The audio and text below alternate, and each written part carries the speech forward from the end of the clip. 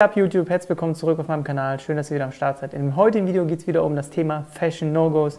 Ich habe mir fünf neue Dinge rausgesucht, die wir in diesem Video einfach mal durchgehen. Dementsprechend, los geht's. So Leute, wie im Intro schon gesagt, in dem heutigen Video geht es wieder um Fashion No-Gos. Natürlich kann jeder, und das betone ich vor jedem Fashion No-Go-Video, jeder tragen, was er möchte. Aber ich habe mir wieder ein paar Notizen gemacht, beziehungsweise ein paar Sachen rausgesucht, wo ich einfach denke, hm, das geht einfach nicht klar. Das sind für mich einfach so Sachen, die kann man vermeiden, die sollte man nicht machen. Das ist natürlich jedem selber überlassen. Aber ich finde persönlich, äh, wenn man sich daran hält, das eine oder andere beachtet, ist man auf jeden Fall besser beraten und auf jeden Fall meiner Meinung nach besser gekleidet. Dementsprechend fangen wir an mit Punkt Nummer 1.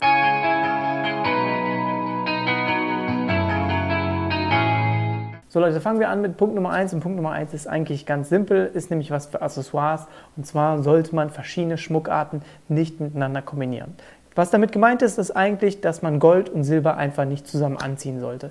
Ist meine persönliche Meinung und äh, ich finde es einfach nicht nice, wenn man prinzipiell eine goldene Uhr hat und dann alles mögliche an Bracelets, Armbändern äh, oder ich sag mal so Scuff-Dinger etc.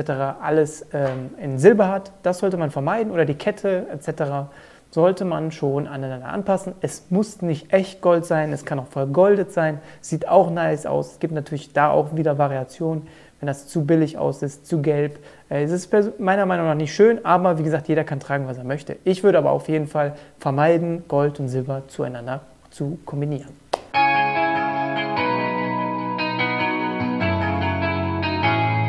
So Leute, kommen wir zu Punkt Nummer zwei. Und Punkt Nummer zwei ist auf jeden Fall meiner Meinung nach einer meiner größten No-Gos, die für mich persönlich gelten. Und das sind Animal Prints.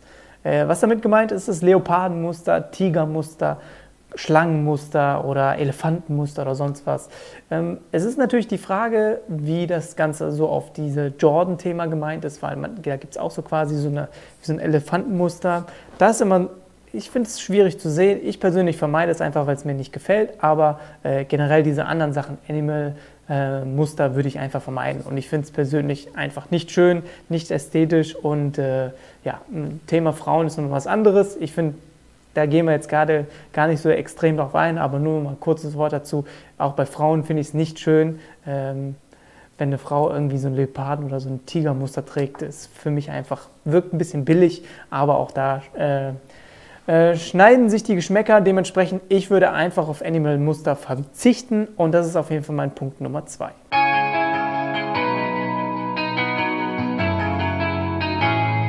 Machen wir weiter mit Punkt Nummer 3 und Punkt Nummer 3 ist ein bisschen Zwiespalt, weil es gibt jetzt den einen oder anderen Designer, die schon damit zusammengearbeitet haben, aber für mich ist das ein Schuh, der zu Hause bleiben soll, der super bequem ist, den viele feiern, den viele tragen, aber er gehört für mich nicht auf die Straße. Und zwar sind das Crocs. Ich finde diese Schuhe einfach 0,0% ästhetisch. Ich weiß, dass sie super komfortabel sind, aber meiner Meinung nach sind das einfach keine Statement-Schuhe oder sonstiges, auch nicht, wenn ein Designer damit äh, Kollabos eingeht.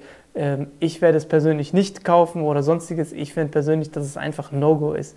Wie gesagt, äh, vom Bequemlichkeitsfaktor und zu Hause etc. Keine, gar kein Thema, kann jeder machen, was er möchte, aber Crocs gehören auf jeden Fall nicht in die Öffentlichkeit und dementsprechend ist das mein No-Go Nummer 3.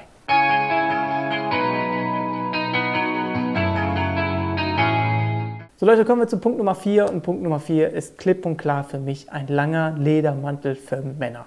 Ähm, ich bin natürlich ein Fan von den Matrix-Filmen, aber dieser Matrix-Look mit diesem schwarzen langen Ledermantel oder was weiß ich, andere Farben in Sachen Ledermantel, Finde ich persönlich einfach nicht nice. Wie gesagt, jeder kann tragen, was er möchte, aber für mich ist ein Ledermantel auf jeden Fall ein dickes No-Go und äh, ich denke auch nicht wirklich, dass es äh, ja, jemals wirklich ein Trend sein kann. Es gibt natürlich irgendwo gewisse Grenzen, gewisse Typen, die so ein bisschen besonders sind, denen sowas steht, aber für die normalen Typen, so wie ich mich auch sehe, ist einfach ein Ledermantel ein No-Go und dementsprechend würde ich auf jeden Fall darauf verzichten und das ist mein Punkt Nummer 4.